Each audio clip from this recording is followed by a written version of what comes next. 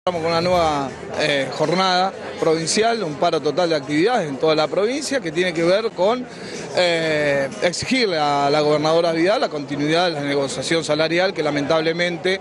eh, está estancada, está abierta pero estancada, donde ya es de público conocimiento que la única reunión que hemos mantenido con el Ejecutivo Provincial fue allá por el 29 de mayo. ¿Y de cuánto les ha aumentado el sueldo a lo largo de esta, este año sin haber llegado a un acuerdo? Mira, eh, hemos tenido dos aumentos eh, por decreto, de manera unila- unilateral por parte del Ejecutivo, del orden del 7% eh, en mayo eh, y del 8% en julio, que totaliza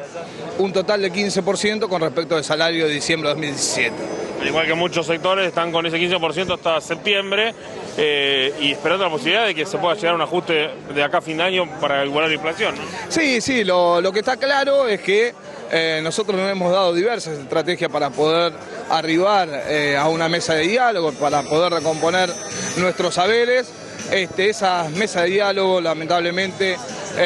no han sido llevadas adelante por una clara intencionalidad política de la gobernadora Vidal, pero eh, el Tribunal de Trabajo número 3 de La Plata en dos oportunidades y en la última en particular en el mes de julio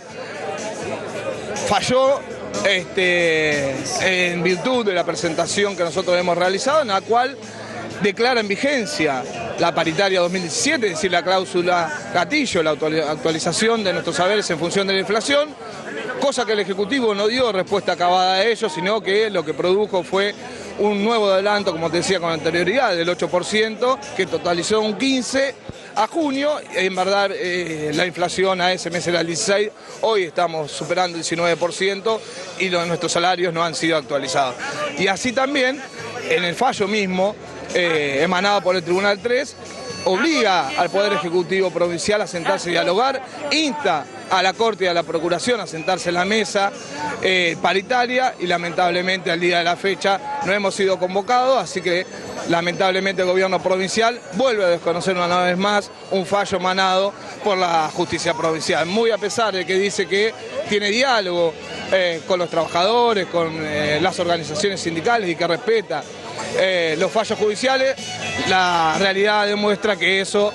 no es así, así que en este sentido hoy nos encontramos con un paro total en toda la provincia de Buenos Aires.